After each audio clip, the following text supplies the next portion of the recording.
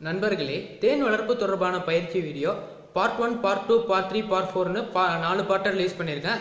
அது லிங்க் கீழே டிஸ்கிரிப்ஷனில் இருக்குது ஃபர்ஸ்ட் கமெண்ட்டில் இருக்குது அந்த வீடியோ பார்த்துட்டு இந்த வீடியோ பாருங்கள் அப்போ தான் உங்களுக்கு புரியும். மறக்காமல் இந்த சேனலை சப்ஸ்கிரைப் பண்ணி ஆதரவு இடம் மாற்றி வச்சுட்டா அது எப்படி வர தெரிய வந்துருமா வராதான்னு கேட்குறீங்க காலையில் நேரமே வந்து தேனீக்கள் வந்து உள்ள வந்து ஒரு கொடி அணிவகுப்பு மாதிரி நடக்கும் மிலிட்ரியில் நடக்கிற மாதிரி. தானாக வந்து எல்லாம் வெளியே போயெல்லாம் தென் எடுத்துகிட்டு வரக்கு அனுமதி கிடையாது. அந்த அணிவகுப்பு முடிச்சுட்டு போகலாம்ங்கிற சிக்னல் கிடைக்கி.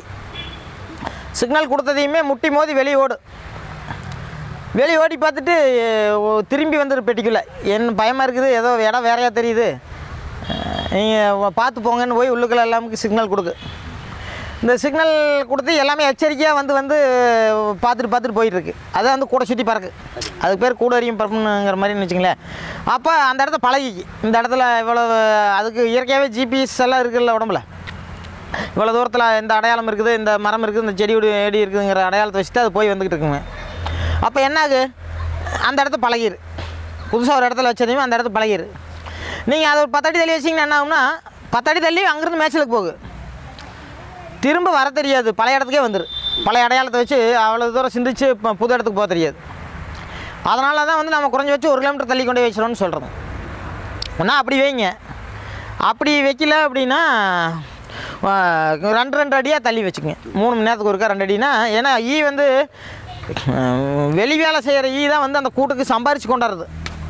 புரியுதலைங்க இதுக்கு என்ன உணவு? உணவு தான் தேன் தான் சம்பாதிக்கிற சொத்து. அந்த ஈ பூரா கொண்டு விட்டோம்னு வச்சுக்கோங்க கொஞ்சம் தள்ளி வச்சு.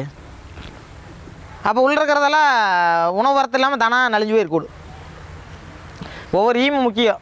ஒரு நல்ல தேன் வளர்ப்பாளர் ஒரு தேனீக்கு கூட கொல்லக்கூடாது. அந்த மாதிரி ஒரு அஹ், லட்சியத்தோட பெட்டி தூக்கி வைக்கல நசுங்கிருச்சு அப்படியெல்லாம் பேசக்கூடாது விடாது எப்படி விட்டாது ஈ வந்து தேனீக்கு பூச்சி வேற பூச்சி வந்து தொந்தரவு பண்ணுது அந்த பூச்சி எப்படி அழிக்கிறது எப்படி தெரியும் அது நிறைய இருக்குதுங்க. அது ஒரு ஸ்க- அதுக்கு தனியாக ஒரு அரை மணி நேரம் இருக்குது உங்களுக்கு இது. என்னென்ன நோய்கள் இருக்குது என்னென்ன எதிரிகள் இருக்குது? சரிங்க இப்போ இதில் தேன் எடுத்துடுறோம். அஹ், அஹ், சொ- சொல்லித்தரேன் என்னங்க? இப்போ இதில் தேன் வந்து ரெண்டு லட்சம் பதினஞ்சு நாளைக்கு ஒரு டைம் இருக்குன்னு அது என்ன மாதிரி எடுக்கணும் எவ்வளோ நாளைக்கு ஐயா பாஞ்சு நாளைக்கு ஒருக்காங்கிறதெல்லாம் கிடையாதுங்க. இப்போ எங்கள் ஊரில் வந்து சீசன் அப்போவே பாஞ்சு நாளைக்கு ஒருக்கா எடுக்கிறோம். ஒரு பெட்டிக்கு முக்கால் கிலோ ஒரு கிலோ அந்த மாதிரி கிடைக்குது. இதே கேரளாவில் அஞ்சு நாளைக்கு ஒருக்கா ஒரு பெட்டியில் ரெண்டு கிலோ நாலு கிலோ கூட எடுக்கிறோம். ஒரே மாதத்தில் மினிமம் பத்து கிலோ. பத்து கிலோ எடுத்தால் தான் பிழைக்க முடியும். மினிமம் அது இருபது கிலோ முப்பது கிலோ கூட எடுத்துருவோம். எத்தனை கிலோ எடுத்துருக்கிறோம் இந்த சதிபட்சம் முப்பத்தஞ்சு வரை முப்பத்தஞ்சு வரைக்கும் எடுத்துருக்குறோம். ஒரே மாதத்தில் ஒரே பெட்டியில். நம்பவே முடியாது. முதல்ல ஒன்று இல்லை எங்கே கொண்டு வச்சிங்கனால பிப்ரவரி பாஞ்சாம் தேதியிலேருந்து மார்ச் பாஞ்சாம் தேதிக்குள்ளே ரப்பர் எஸ்டேட்டில் ஃபுல்லாக கிடைக்கும்?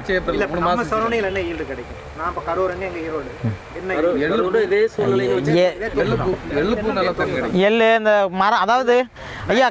கலை எந்த ஏரியாங்க? கரூரில் எந்த ஏரியாங்க? கரூர் வடக்கு காவேரி கரை வழி காவேரி கரை பக்கம். குமாரசாமி காலேஜ் பக்கம். சரிங்க சரி.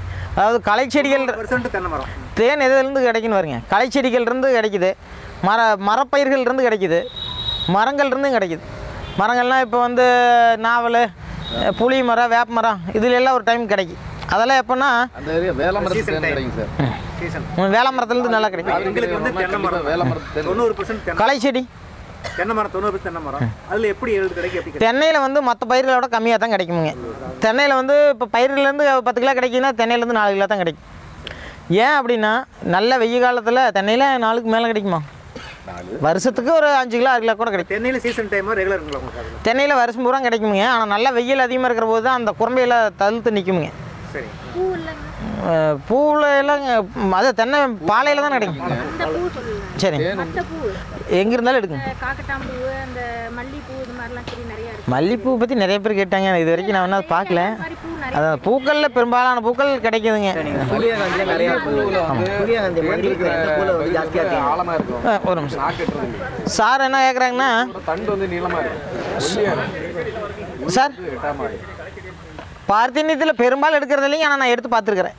என்கிட்ட வீடியோவே இருக்குது. ஆனால் பெரும்பாலும் எடுக்கிறது இல்லை. மழை காலத்தில் ஒரு மழை காலத்தில் எடுத்து பார்த்துருக்குறேன். இருக்குது. அதில் அந்தளவுக்கு விரும்பி போகிறது இல்லைங்க. பொதுவாக நம்ம நாட்டு தேனீக்கள் எடுத்துக்கங்க. ஜெ ஜெனட்டிக்கலாகவே வந்து நம்ம நாட்டில் பாரம்பரியமாக இருக்கிறத தான் விரும்பு. நம்ம நாட்டு தேன் வந்து இத்த சூரியகாந்தி அதிகமாகவே விரும்புது. அதே இத்தாலி தேனி சூரியகாந்தி இருந்துன்னா நாலு மடங்கு பாய்ச்சலில் போகுது. அவ்வளோ ஈல்டு வந்து பத்து மடங்கு நூறு மடங்கு வச்சிருக்கு. பத்து கிலோ தான் இருபது கிலோ தான் நம்ம ஊரில் ஒரு இத்தாலி தேன் வழக்கமாக கிடைக்குன்னா அதில் ஒரு மாதத்தில் இரநூறு கிலோ கிடைக்கும். இருக்கிற வரைக்கும் கிடைக்கும். ஏன்னா சூரியகாந்தியுடைய பூக்களுடைய ஊற கல்லு தான் தே தேன். அது வந்து ஆழத்தில் இருக்குது அடியாழத்தில் நம்ம நாட்டு தேன் வந்து பொங்கி வர தேனத்தை உறிஞ்சி எடுக்க முடியும். நாக்கோட் நீட்டை க கம்மி. ஆனால் இத்தாலி தேன் வந்து நாக்கோட் நீள்றது ஜாஸ்தி ஜென்டிக்கலாகவே அது வெளிநாட்டிலேருந்து கொண்டாந்த பயிர் வெளிநாட்டிலேருந்து கொண்டாந்து ஈங்கிறனால அது விரும்பி அடியாளத்துலேருந்து உறிஞ்சி எடுத்துருது தேனை. நிறைய தேன் கிடைக்கும். சார். ஆமாம் அது போர் போட்டு அது என்ன பண்ணுதுங்கன்னா பூ மலர் தேனீக்களுக்கும் மலருக்கு ஒரு உன்னத ஒரு உறவு இருக்கிறதா படிக்கிறோம். அது என்ன பண்ணுதுன்னா குறவலை கடிச்சு எடுக்கிற மாதிரி அடியில் பூவே கடிச்சு எரிஞ்சிட்டு எடுத்துகிட்டு போயிடுது எப்படி? போர் இரநூறு அடி முந்நூறு அடி போட்டு தேன தண்ணி எடுத்துக்கிட்டு இருந்தாங்க. இப்போ திருச்செங்கோட்டுக்காரங்களாம் வந்திருப்பீங்க இன்னைக்கு ரெண்டாயிரம் அடி போட ஆரம்பிச்சிட்டிங்கல்ல. அதே மாதிரி தான் அப்படியே துபாய்ல என்ன கிணறு பூரா நீ இங்க தான் வந்துரும் மேக்ஸிமம் எவ்வளோங்க ஸ்டோர் ஆகும் என்ன? ஒரு பெட்டியில் மேக்ஸிமம் எவ்வளோ ஸ்டோரேஜ் ஐயா அதாவது சார் வந்து கேட்குறாங்க ஒரு கேள்வி. மேக்ஸிமம் இந்த பெட்டியில் எவ்வளோ தேன் எடுக்கலாம் அப்படின்ட்டு. அவங்க எதுக்காக கேட்குறாங்கன்னா ஒரு பெட்டியிலேருந்து நாலு கிலோ தேன் எடுத்தா ஒரு தடவைக்கு. பத்து கிலோ தேன் ஒரே மாதத்தில் எப்பறம் எடுப்பீங்க? முப்பத்தஞ்சு கிலோ எடுத்துங்கிறீங்களே அப்படின்ட்டு. இந்த இது வந்து தேனறை இருக்குது இல்லைங்களா? நம்ம கொடுக்கறது ஒன்று நம்ம பகுதிக்கு ஏற்ற மாதிரி. கேரளா இதே பெட்டி கேரளாக்காரங்களுக்கு விற்றா ரெண்டு கொடுப்போம். இன்னும் இரநூத்தி முந்நூறுரூவா ஜாஸ்தி இருக்குது அந்த பெட்டி. அங்கே மினிமம் ரெண்டு. ஆனால் சில நேரங்களில் இது நாலு கூட வச்சு எடுப்போம். நான் ஒரு தடவை பதினஞ்சு வச்சு எடுத்துருக்கேன் ரெண்டு சைடு மூங்கல் நட்டு பெ பெட்டி சாஞ்சிராமல் இருக்கிற அத்தனை தேன் வைக்கும். ஆமாம் ஆமாம் ரப்பர் மரத்தில் தலையிலேயே தேன் உழுவுங்க கனவு கனவுல உழுவு. இலையோட இதில். தேன் வந்து ரெண்டு வகையாக பிரிக்கலாம். லீப்கனி ஃப்ளவரிங் ஹனின்ட்டு நம்ம எல்லாருமே பூக்கள்லேருந்து எடுக்க தான் நினச்சிட்டு இருக்கிறோம் இப்போ பருத்தியில் போய் எடுத்தால் வச்சா தேன் நிறையா கிடைக்கும். என்ன பார்த்தா பருத்தி பூலையும் கிடைக்கும் அந்த தலையிலையும் கிடைக்கும். அதே மாதிரி ரப்பரில் வந்து இலைகளில் கிடைக்கிறதே நிறைய கிடைக்கும். புதுசாக இலை தழுத்து வரையில் நல்லா மறு மரத்தை ஆட்டினீங்கன்னா தேனாக உழுவு இனிப்பான திரவம். தேன் தேனீக்கள் வச்சா தானே அதுக்கப்புறம் அதை எடுத்துகிட்டு வந்து தேனாக மாற்றிரு நல்லா டேஸ்ட்டாக இருக்கும் ரப்பர் மரத்து தேன். சரிங்க. ஆமாம் நீங்கள் ட்ரெயினில் போயிருந்தீங்கன்னா ரெண்டு பக்கமும் சுற்றியும் மரமாக இருக்குது நான் வீடு வீட்டுக்கு ரெண்டு வச்சுக்கிட்டு எல்லா இடத்துலையும் வச்சுருப்பாங்க. சரிங்க. பெட்டியோட சைஸை தீர்மானிக்கிறது முக்கியம். அது கரெக்டான சைஸ் பெட்டி வச்சு வளர்க்கினா தான் வளர்க்க முடியுங்க. ஆசைப்பட்டு பெரிய பெட்டியை வச்சோம்னால வளராது. மேலே வந்து நீங்கள் என்னத்தை பெருசுங்கிறீங்கன்னா இதே சைஸ் இருந்திருக்கு. நிறையா பெட்டி மேலே அடிக்கிருப்பாங்க இது எத்தனை வேணாலும் வச்சுக்கலாம். இதுக்கு அளவு கிடையாது. கீழே புருடு ஒன்று போகுது. சூப்பர். எத்தனை நாள் வச்சுக்கலாம்? அதுக்கெல்லாம் எத்தனை வளர வளர நீங்கள் வச்சுக்கிட்டே இருக்கலாம். நாங்கள் என்ன பண்ணோம்னா இப்போ சீசனில் கொண்டு போய் முதல்ல வச்சு கீழெல்லாம் வளர ஆரம்பித்ததையும் கீழே இருக்கிற ஒரு பழைய அடையை கட் பண்ணி மேலே இருக்கிற நாளுக்கு வச்சுடுவோம். அஞ்சு அஞ்சு இருக்குதா? அதுக்கு அது வளர்ந்து முடிச்சதையும் என்ன பண்ணோம்னா இன்னொன்று கட் பண்ணி இன்னும் நாளுக்கு வச்சுடுவோம். ரெண்டாயிருச்சிங்களா? அப்புறம் என்ன நடக்கும்னா சீசன் ஆரம்பிச்சிரு. தேன் வர வரத்த ஆரம்பிச்சிரு. அந்த சீசனில் தான் வளரு. கீழே வந்து நான் ரெண்டே ரெண்டு மட்டும் விட்டுட்டு மூணு எடுப்போம். மேலே மூணு. அதுக்கு மேலே நாலு நாலுன்னு அவ இருக்கிற எல்லா பிரேமையும் தூக்கி கலந்து இதுக்கு அதுக்கு எல்லாம் மாற்றி போட்டுருவோம். அப்போது ரெண்டு பிரேமில் இருந்த பத்து பே இதே வந்து கீழே ரெண்டு. இல்லை இல்லைங்க இதில் வந்து இப்போ மூ- அஞ்சு வச்சுருக்குறோங்களா? அஞ்சில் வச்சு வளர்த்திடுவோம் ஆமாம் சூப்பரில். அஞ்சு வச்சு வளர்த்திட்டு தேன் வரத்த ஆரம்பிச்சுட்டு நிறைய தேன் வைக்க ஆரம்பிக்கும் அப்போ இந்த மூணு எடுத்துருவோம். இது அகலமாக கட்டிடு அப்போ இதில் ரெண்டு தான் இருக்குது இந்த ரெண்டை தான் இங்கே இப்படி வச்சுருப்போம். இது இவ்வளோ அகலம் கட்டியிருக்கோம் ஒன்று ஒன்று அந்த கண்டெய்னர் சொல்லும்போது அகலமாக விரிச்சு கட்டிடுங்க. அப்போ மேல் பெட்டியில் தூக்கி இந்த மூணையும் போட்டுருவோம்.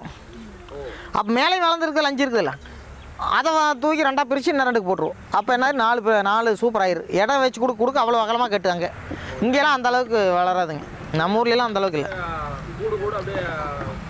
ஆமாங்க. ஆயிரக்கணக்கான ஏக்கர் ரப்பர் மரங்கள் ஒரே டைம் அவ்வளவு. வெறும் ஆயிரம் பெட்டி வச்சு இருபது டன் எடுத்துருக்குறோம். முப்பது டன் எடுத்துருக்குறோம். அந்த மாதிரிலாம் எடுக்கிறது காரணம் அங்கே தான் கீழே இருக்கிற பெட்டியில் முட்டை எடுத்து இதே மறுபடியும் அது மாதிரி கீழே இருக்கிற பெட்டி அது மாதிரி மேலே எடுத்து வைக்கணும் அதில் அதெல்லாம் வேண்டிய இல்லைங்க. கீழே இருக்கிற புழு வளர்ப்பு. ஆமாங்க ஆமாங்க. மேலே இருக்கிற கூப்பரில் இருந்து நாம என்ன கூப்பரை வச்சு வச்சு மேலே இருக்கிற ஏற்றிக்கிட்டே போகலாம். ஒரு சின்ன பீஸ் வேஸ்ட்டாக கிடச்சின்னா அதை எடுத்து ஒன்று ஒட்டி அது அப்படியே அது ஒரு அடைய மாறிடு அவ்வளோ வேகமாக வளர்ந்துரு. இப்போ நீங்கள் கேட்டீங்க கொஞ்ச நேரம் முன்னாடி எவ்வளோ நாளுக்கு ஒருக்கா வளரும்ட்டு அங்கே எல்லாம் பார்த்தா ஒரு நாளைக்கு ஒரு இடம் கட்டிக்கிது. ஒரு நாளைக்கு ஒரு இடம் கட்டியிருக்கு ஏன் போகாதுங்க. தேன் அதுவும் வளர்ந்துக்கிட்டு இருக்கு. சேம் டைம் அது வளர்ந்துட்டு இருக்கு. அடியில் இருக்கிறது போதும். போதும். அதை வந்து இன்னும் கொஞ்சம் பெருசு பண்ணி விடலாம். பெருசுல என்ன பண்ணோம்னா ரெண்டு டைல்ஸ் பீஸை வச்சு தேங்காய் தொட்டி இருக்கலங்க அதை நல்லா கொ- கொட்டி வச்சுக்குவோம் நிறைய பாக்கெட்டில் ஓட்டு வச்சுக்குவோம் என்ன பண்ணோம்னா முன்னாடி பின்னாடி வந்து வச்சோம்னா நம்ம நின்று பாக்கையில் வந்து ஈ வந்து அடிச்சுன்னா கடிக்க ஆரம்பிக்கும் லோடோட வர்றபோது கோவப்பட்டு கொட்ட ஆரம்பிக்கு. அதனால் முன்னாடி பூரா கீழே ரெண்டு வச்சு விட்ருவோம் தூக்கி விட்டா ஃபுல்லாக நுழைவலி. இங்கே ரெண்டு வச்சு விட்ருவோம் அது நுழைவலி. இதுக்கு மேலே வைக்கல அதுக்கும் கீழே ரெண்டு வச்சு விட்ருவோம் மேல் மூடிக்கு மேலே ரெண்டு கட்டையை வச்சு விட்ருவோம் அந்த மாதிரி தேங்காய் முடிய. ஃபுல்லாவே நுழைவாய் ஏன்னா பூரா நுழைவலி ஆயிரு. அப்போ தான் அவ்வளோதான் வர்ற தேனோட வரையில போயிட்டு போயிட்டு வந்துட்டு இருக்கு வேக வேகமாக ஆமாம் பூரா எல்லா வழியும் நீக்கி விட்டாயிரு. ஆமாம் சீசன் முடிஞ்ச உடனே அதெல்லாம் எடுத்து சீசன் முடிஞ்சதே கீழே இல்லைன்னா எங்கேயாவது போகிற எல்லாம் உள்ள வந்து ஒன்னோட ஒன்று சண்டை கட்டிக்கிட்டு செத்து போகும். நிலையில கூட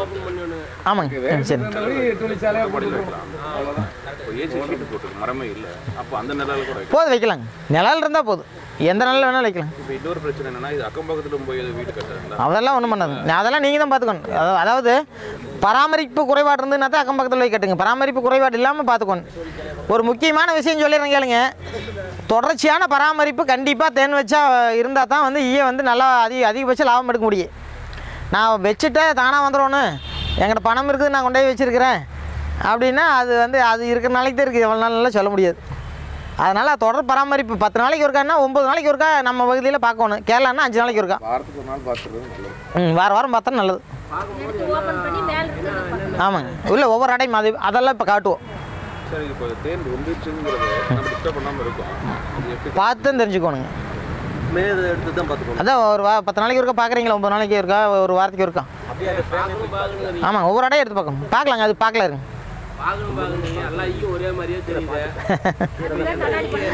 இல்லை இல்லைங்க இனிமேல் தெரியாது. இனிமேல் பார்த்தீங்கன்னா உங்களுக்கு என்ன ஈ எதுன்னு உங்களுக்கு தெரியும். மூணு வகையா தெரியும். இனிமேல் தெரியும். ம் உங்களுக்கு அதெல்லாம் காட்டுறதுக்கு தான் இப்போ பயிற்சி. சரி நாம தாஸ் நீங்கள் பாருங்கள் அடுத்து வந்து இப்போ ரந்திச்சு எடுத்துடுறோம். அது உணவுக்காக விட்டு வைக்கணுங்களா? ஏதாவது அதெல்லாம் தேவை. ஆமாம் கீழ்பட்டியில் இருக்கிறதான எடு எடுக்கக்கூடாதுங்க? அது எப்போ ரெகுலராக இருக்குங்களா சார் இதை கேளுங்க. ஐயா ஒரு முக்கியமான கேள்வி கேட்டுக்கிறாங்க. தேனீக்களுக்கு உணவே வேண்டியலையே? புறம் எடுத்துறதா கொஞ்சம் விடணுமான்னு கேட்குறாங்க தேன் எடுக்க போவோம்னா கூட கொஞ்சம் தேனை சாப்பிட்டு தான் அது பறந்து கேட்குறேன் அப்படிங்கிற அதுக்கு உணவு கண்டிப்பாக வேணும்.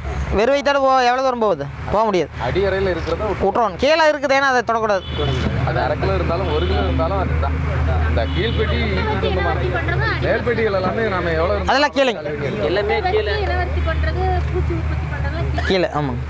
கீழே பாக்ஸ் வராது. சில நேரங்களில் வந்துரு அது வந்தாலும் வரக்கூடாதுன்னு முடிக்கி விட்றோம் நீங்கள் அந்த விட்ற விட்ற முட்டைவெல்லாம் வந்து தண்ணி அடிச்சு விட்டு மேலே இந்த வேலையெல்லாம் உனக்கு வேண்டாம் கீழே போகணும்னு சொல்லி அனுப்பிச்சி மேலே அனுமதியே கூடாது. அதாவது ஒரு அடை கட்டுறனா நீங்கள் நினச்ச இடத்துல தான் கட்டணும். அது முட்டை வைக்கணும்னா நீங்கள் நினச்ச இடத்துல தான் வைக்கணும். அப்படி தான் அதை வச்சுருந்தீங்கன்னா தான் அதை கண்ட்ரோலில் வச்சுருக்க முடியும். நீங்கள் எங்கே வேணாலும் அடையை எப்படியோ கட்டிட்டு போன்னு விட்டிங்கன்னா குறுக்கு நெடுக்குமா கட்டியிருக்கு. அதை எடுக்கிறனே கடிக்கு அடை கட்டலையே நீங்கள் பார்த்து கரெக்ட் பண்ணி விட்றோம் இப்படி இப்படி தான் கட்டணும்னா அப்போ அந்த இடத்துல கரெக்டாக கட்டிக்கு ஆமாம் அது அது நீங்கள் சின்ன சின்ன ஏற்பாடு பண்ணி விட்டீங்கன்னா அது தானாக அதுக்கு ஆ கொஞ்சம் இடவெளி வச்சு வச்சிங்கன்னா நடுவில் ஒரு அடையை கட்டிடு அப்போ அந்த அடை இடவெளி கரெக்டாக கொடுங்க. ஒரு அடை கட்டுறதுலேயே கட்டலையே நேர் கட்டுதான்னு பாருங்கள் இல்லைன்னா நேர் தள்ளி கையிலேயே தள்ளி விட்டிங்கன்னா மெழுகு தானே? நகர்ந்துக்கு நேர் கட்டிக்கு. நீங்கள் இப்போ கொடை வச்சு நீங்கள் கவனிச்சே பார்க்கலனா அதுக்கப்புறம் இப்படி கட்டு. கட்டிடும் காசு நீக்க முடியாம இருந்துட்டு. மூடிலையும் கட்டிடும் மூடிய கூட நிக்க முடியாது. அதனால இல்லைங்க.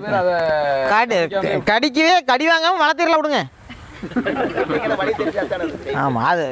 அது கடியும் வாங்கலாம் வாங்காதையும் இருக்கலாம். அப்படி வச்சுக்கலாம் விடுங்க. என்ன காரணம் மேது எடுக்கிறோமுங்க மேது எடுக்கும்போது அதில் பூச்சி இருக்கு இருக்கு. அது கடிக்குமில்ல இப்போ கடிக்காம இருக்காது. அப்படியெல்லாம் கிடையாதுங்க. அப் இப்போ எங்கிட்ட ஒரு கிட்டத்தட்ட ஒரு ஆறாயிரம் பெட்டி பத்தாயிரம் பெட்டிக்கு பக்கமாக இருக்குது இப்போ. அத்தனையிலையுமே இப்போ எல்லாம் எஸ்டிமேட் பண்ணி ஒரு பத்து பக்கமாக இருக்கு. முதல்ல ஒரு ஆறு வச்சுருந்தா பல செஞ்சுக்கிட்டு இருக்கிறேன் செஞ்சு செஞ்சு உள்ள வச்சுக்கிட்டு இருக்கிறேன்.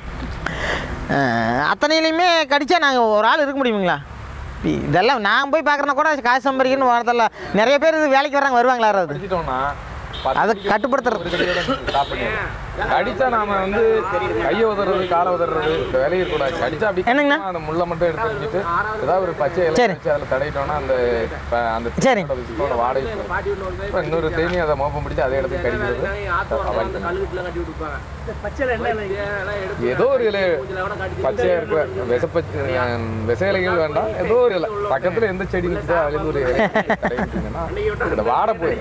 இந்த பழைய தேனி கடிச்சதோட வாடை போயிடும் ஆனால் சொல்லியிருக்கிறாங்க நான் இது வரைக்கும் நான் நான் நீங்கள் தான் சொல்லி தான் கேட்டிருக்கிறது. வரைக்கும் யாரும் பார்த்தா சொன்னதே கிடையாது. நான்லாம் கல்கட்டில் எடுக்க போயில பாம்பு இருக்குது கல்கட்டில். அப்படின்னு வீட்டில் சத்தம் போடுவாங்க? தெரியா போய் தான் எடுப்பா. ஆனால் இன்னைக்கு தான் நீங்கள் சொல்லி தான் கேட்டிருக்கிறேன்.